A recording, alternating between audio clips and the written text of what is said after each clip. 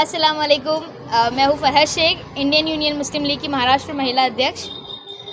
आज यहाँ पर हम खड़े हैं और सबसे एक बहुत ही बड़ी खुशखबरी जो आज मैं मुमरा वासियों के साथ शेयर करना चाहती हूँ।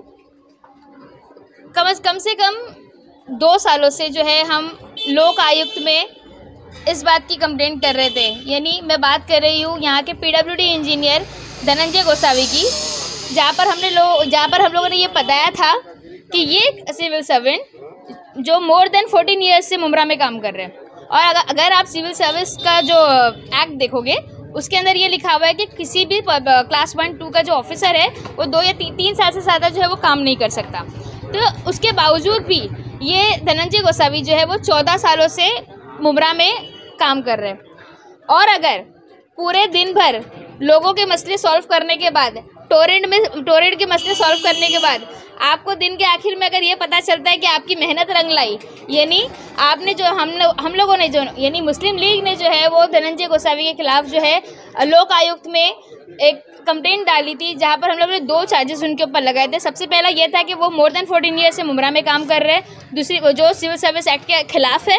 दूसरा ये उनके ऊपर कुछ करप्शन के चार्जेस हमने लगवाए थे, लेकिन वो उसका जो है ऑर्डर आना अब बाकी है, उसके ऊपर अभी भी कार्रवाई चल रही है।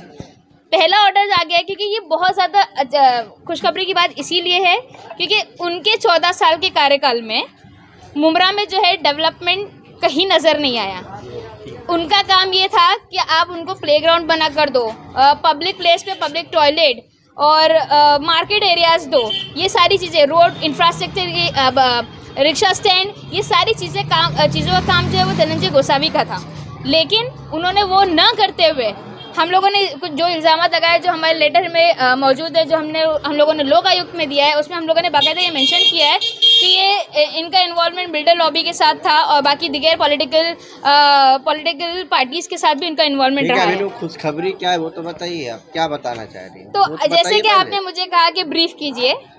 मैंने आपको ब्रीफ कर दिया। ब्रीफ करने के बाद मुमरा वालों, आप लोगों के लिए बहुत बड़ी खुशखबरी मुस्लिम लीग लेकर आई है। वो ये कि फाइनली लोक आयुक्त में किया हुआ। लोक आयुक्त में जो अ, अ, आप कह सकते हो कि एक पेटिशन दाखिल की गई थी धनंजय गोसावी के खिलाफ कि वो जो है मुमरा से चला जाए। वो मुमरा से जाना इसलिए ज़्यादा ज़रूरी था क्योंकि मुमरा का डेवलपमेंट चाहिए था हम लोग को। तो ये बहुत बड़ी खुशखबरी है कि आज जो है धनंजय गोसावी का ट्रांसफ़र हो चुका है।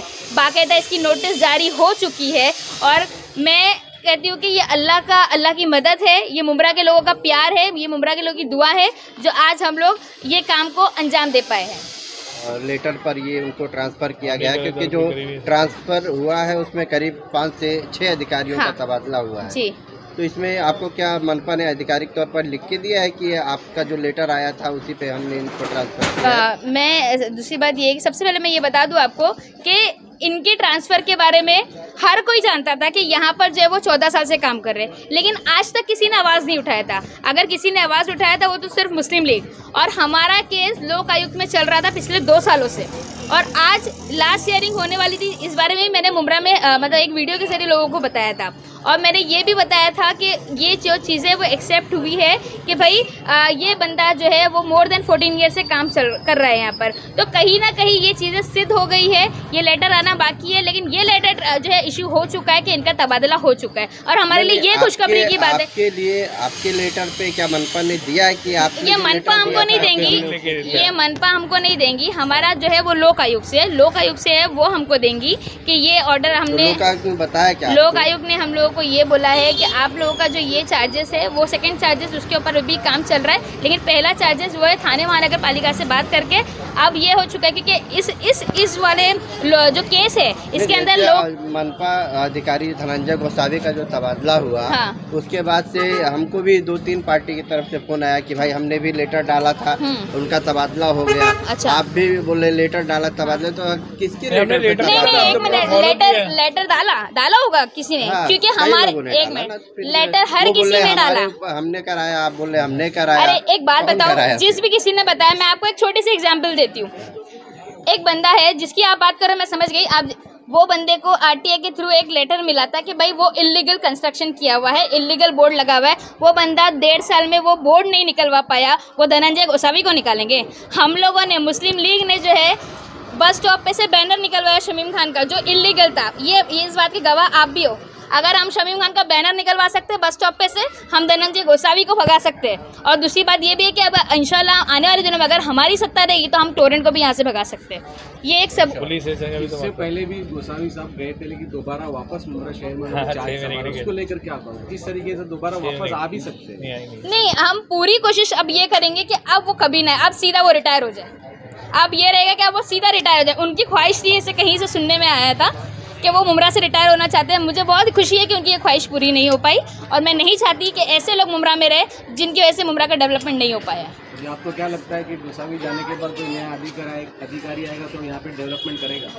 अब उनको करना पड़ेगा। अब उनको अब चौदह साल से जो गलती हुई है अब वो गलती वो शायद रिपीट नहीं करेगा। और हम जो है उनके ऊपर दबाव बनाएँगे कि अब हमको जो है जो चीज़ें हमारे लिए पास हुई है वो सारी चीज़ें हमको यहाँ पर चाहिए और इंशाल्लाह वो करेंगे। और नहीं करें तो हम लोग हैं वहाँ पर दबाव देने के लिए, क्योंकि उनके ऊपर एक एग्ज़ाम्पल है कि अगर ये ऑफिसर यहाँ से जा सकता है तो कल को मैं भी जा सकता हूँ। तो ये एक एग्ज़ाम्पल है उनके लिए तो इंशाल्लाह वो ज़रूर वो भी काम करेंगे। नाके पे जो लव अनवर नगर ये सब जो है, इसका एक अलग मसला है। इसके ऊपर भी हमारा काम चालू है कि किस तरीके से ये स्ट्रक्चर लीगल है इलीगल है, इनके ऊपर यूज़ की हुई लाइट लीगल है इलीगल है। आने वाले दिनों में उस बात पे भी करेंगे हम लोग स्पष्टीकरण, क्योंकि टोरेंट जिस तरीके से दावा करता है लोगों के ऊपर विजिलेंस का केस और दीगर केसेस डालता है तो मैं ये चाहती हूँ कि अगर वो एक आम इंसान के ऊपर अगर केस जाता है तो हर किसी के पास उसी तरीके से केस होना चाहिए। फिर चाहे वो किसी सत्ताधारी पार्टी ने किया हो, किसी अपोजिशन ने किया हो या किसी आम नागरिक ने किया हो।